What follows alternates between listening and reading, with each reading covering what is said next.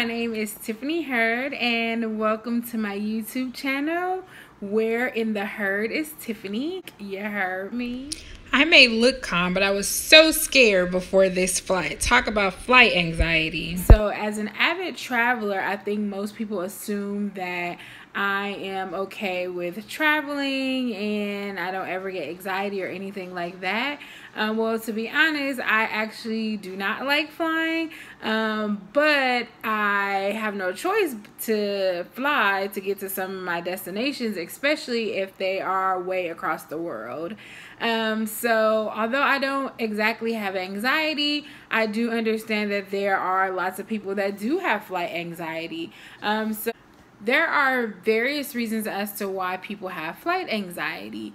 Um, so, one of the reasons can be um, simply because they've had a previous bad experience. Um, another reason is our 9 11 tragedy. That was such a horrific incident where planes literally were hijacked and crashed. So, that's a valid concern. Um, we also have people that may have pre-existing conditions, meaning maybe they already have anxiety. So flying just kind of puts them over the edge. Um, or we may just have people may be just afraid of the plane crashing. Unfortunately, sometimes these thoughts of bad things coming into your mind can occur. Um, so um, all of the above reasons that I mentioned are very valid of why people have flight anxiety.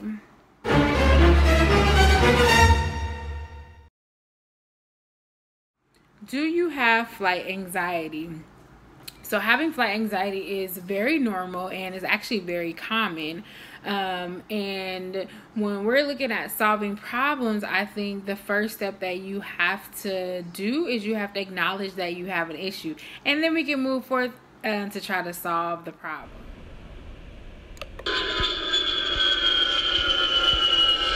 Twenty ways where you can cope with flying anxiety. Mm, here we go. Get ready. Get ready. Get ready.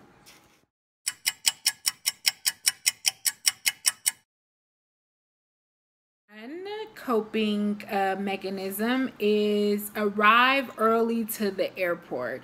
Um, so I'm I'm gonna put this out about myself. Do not be like me. Um, I often arrive late to the airport and I'm always like, oh my God, I hope I can get on my plane, which is can be very stressful. You are taking a domestic flight, make sure you are two hours in advance. And if you are taking an international flight, make sure that you are there three hours in advance. Um, so once you get checked in, once you go through the security gate, once you get to your gate, you just feel like a calmness come over you because now you feel like I've actually made it inside and everything is done. And so once you feel like okay, you have enough time to spare, um, you can go check out um, a restaurant, you can get some snacks, you can go um, peruse the book out. You can just kind of relax and feel calm before your flight.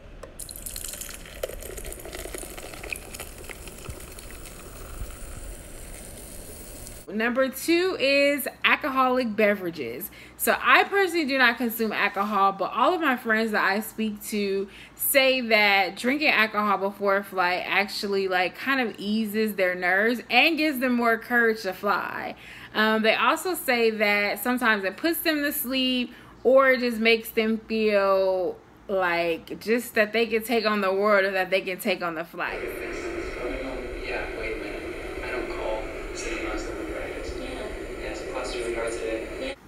Number three.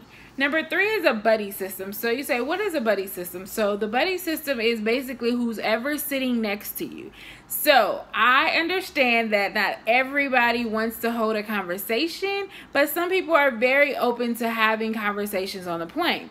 And I always say, you never know who you're going to meet. You never know what conversations you're going to spark up. You never know what networking opportunities can come of it.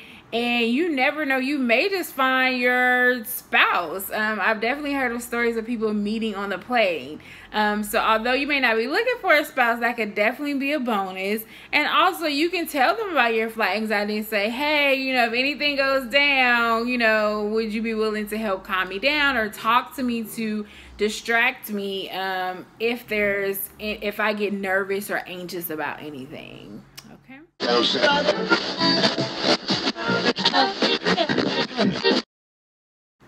Number four, create a music playlist. So, if you already know, music evokes different types of emotions. You already know if you want to listen to some jazz music, um, it's very calm, has the musical instruments going on.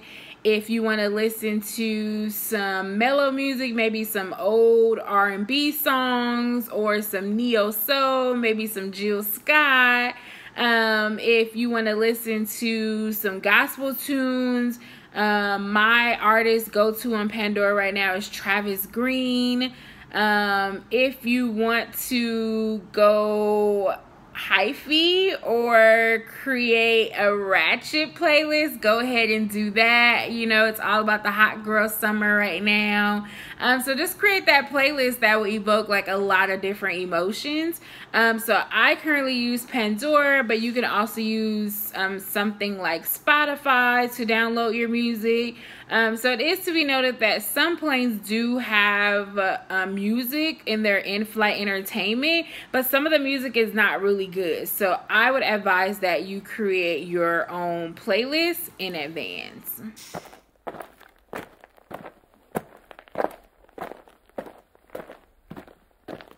Number five is errands. So I know that sounds crazy. Like, what does errands have to do with uh, flying? So for me, before a flight, I always run a lot of errands. I gotta go to the store. I gotta pick up uh, toiletries, medicine, different things like that. But I feel like I am so tired and wore like I just go to sleep. Um, so again, normally I would say get a good night's rest before a flight. Um, but I also say if running errands tires you out and you want to sleep on the plane, that's another alternative as well. Okay.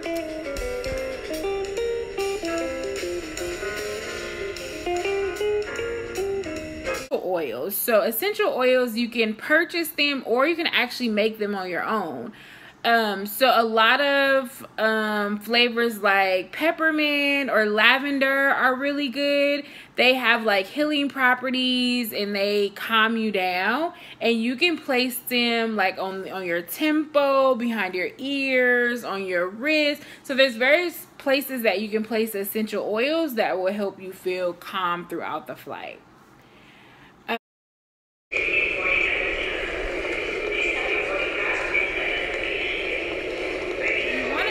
Flight crew, um, the people that you should be looking for is the pilot. So when you first get on a plane, you notice that the pilot is there. He's saying hello. You can actually talk to the pilot and say, hey, I'm very nervous about flying. Can you show me the cockpit? Um, and more than likely, they will be willing to show you the cockpit to show you how the aircraft actually works. Um, so that may help you feel calm as well. Also, make eye contact with your flight attendants. Let them know, like, hey, I'm feeling nervous. They'll probably check on you throughout the flight.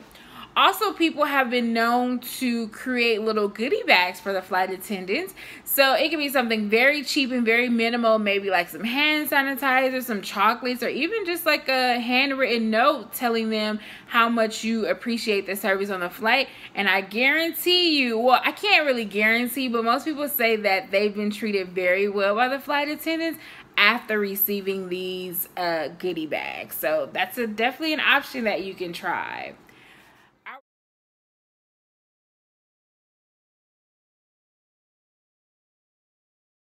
Flight itinerary. So what is that? Well, when you think of flight itinerary, you think of, oh, where I'm flying to and from. Um, but what I mean by flight itinerary, I have a friend named Joanna, and she told me what she does is she creates this itinerary before she gets on the plane. So if she has a three hour flight, she will say, okay, for 15 minutes, I'm going to read. For 15 minutes, I'm going to um, play my songs. And for two hours, I'm going to watch a movie. Um, and then I'm going to repeat this all over until the flight is finished. So I thought that that was like a cool idea to keep your mind preoccupied. And some people need schedules. And so when you have a schedule, sometimes that makes things run a little bit smooth.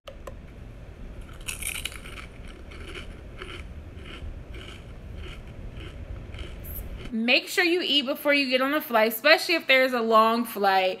Um, or especially if there's like a five hour flight, we all know airlines used to provide like food or like good snacks. Yeah, those days are kind of long gone unless you have an international flight. Um, so I would say make sure you eat something before you get to the airport because the food is kind of expensive there. But let's say you didn't have time, go ahead and eat at the airport because there are some great restaurants at the airport. Um, just know that you're going to pay a little bit more money for them. I will also suggest bringing your own snacks. So let's say, Lord forbid, that your plane is delayed like on the ramp or something like that and you need snacks so again remember the airline is providing like pretzels and like nuts and like crackers nothing to really sustain you right um so i would say pack like an energy bar like beef jerky like crackers like cheese just so just in case of anything happens you will have some snacks on hand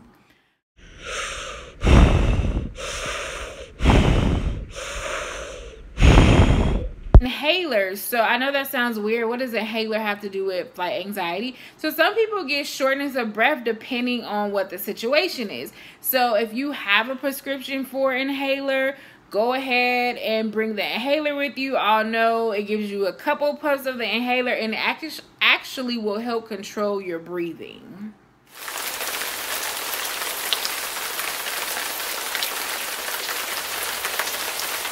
Meditation. So when I used to work with um, pregnant with African American pregnant women, we would do meditation before each class started. And our meditation really consisted of this app called the Calm app. And so it would play like sounds of rain or different things like that. So that very calming music. And it will also give you instructions on like different types of breathing techniques. So sometimes we may have to count to 50 to calm ourselves down. We may have to count to 100. So meditate prior to the flight. Or if you feel like there's turbulence, you may have to start meditating in that moment. Lord, I thank you for waking me up this morning, and I thank you for a wonderful and safe flight. People that are not religious or not spiritual and don't believe in prayer, well, um, if that's your belief, hey. Um, but my belief is that prayer, like, actually really calms me down. So prior to a flight, um, if I'm at church the Sunday before, I will make sure I go up um, in church and get prayer specifically for a safe flight. And let's say I can't get to church, or let's say you don't even go to church, you can always pray on your own. You can pray prior to the flight takes off. You can pray when there's turbulence, and you can say a prayer of thankfulness once the flight lands.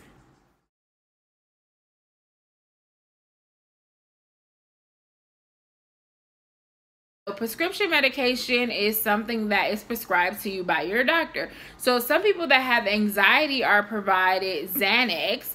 Um, and so you can't get that over the counter. You must go to your doctor and let them know what's going on so that they can provide this for you.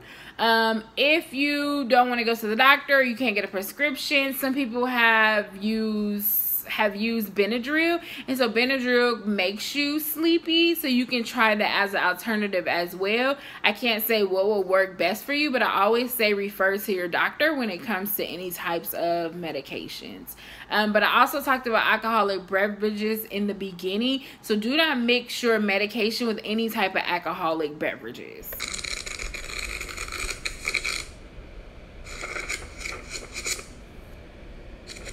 Read a book. So for me, I absolutely love to read, but sometimes there's a lot going on in life, and sometimes you just don't literally have the time to sit down and read a book. So this is a great time to catch up on a book that you've been wanting to read. Before each trip, I try to make a um, a visit to the library, um, and I get like one or two books for the trip. So I'm still old fashioned, and I love to feel um, the books turning in my hand. But some people say, I don't want to deal with that. That's taking up space in my luggage.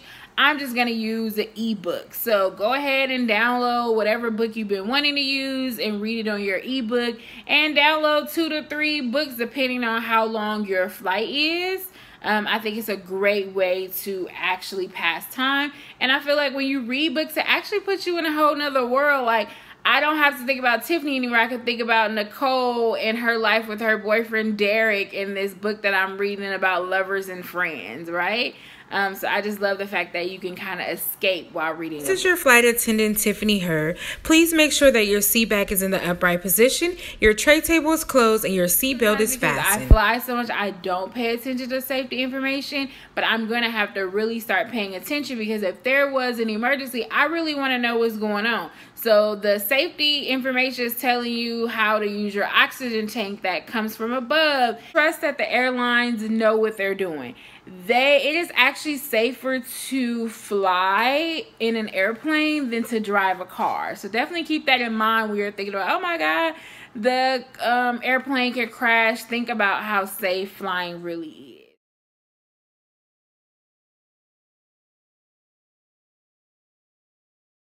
arrangement so think about where you want to sit at. So are you a aisle person? Are you a window person? Are you a middle person?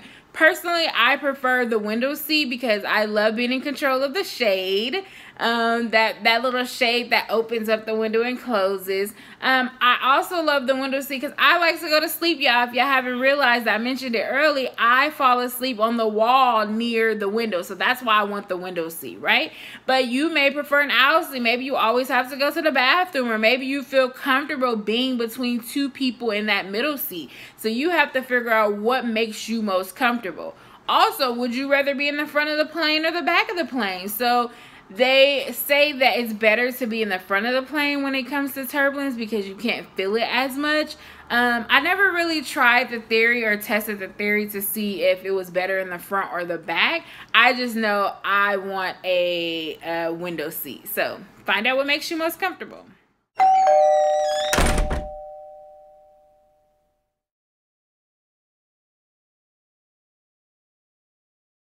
Have anxiety, most people do have a therapist. And so before your flight, let your therapist know during that session, hey, I'm about to fly. What techniques do you have that can help me with this flight?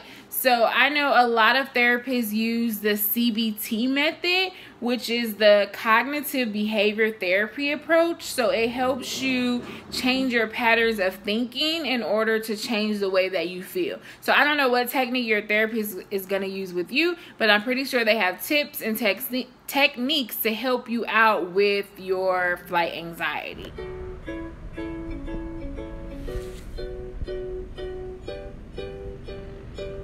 To change those negative thoughts into positive thoughts.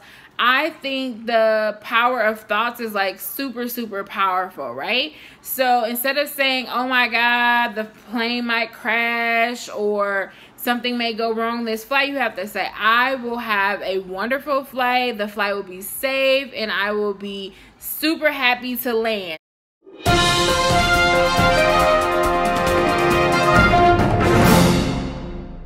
Movies on your tablet, download it from Netflix or whatever uh, whatever device you use.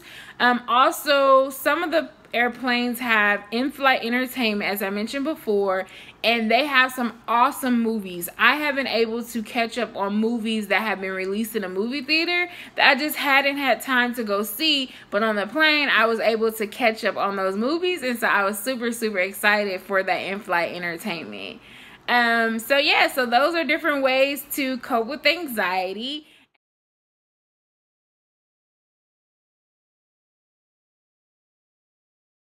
is an anxiety kit. So an anxiety kit is basically things that you would bring with you on the airplane. So number one, I would say noise canceling earphones. So sometimes you are going to have screaming babies sometimes you may have people that just like don't go to sleep and are just talking the entire time.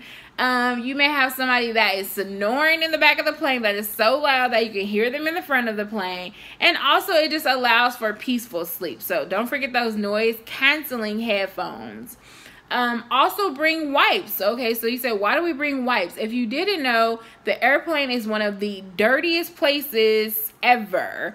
Um, so make sure when you have your wipes, you wipe down the tray table, the armrest, the headrest. Um, if you're in the window seat like me, wipe off that um, the window panel because other people are laying their head there as well. So just do a little wipe down before you sit in the seat. Um, oh, also don't forget the seat belts as well. Um, always make sure that you have a pen with you, especially if you're on an international flight. You are going to have to fill out a form on customs, and you don't want to have to ask them like, "Can I borrow your pen?" Blah blah blah. So make sure you have a pen. It seems like so small, but it's very important. Um, also, activities such as like a journal. Are you, do you want to write down your thoughts? Um, do you want to write a poem? So just bring some pen and some paper to write things down.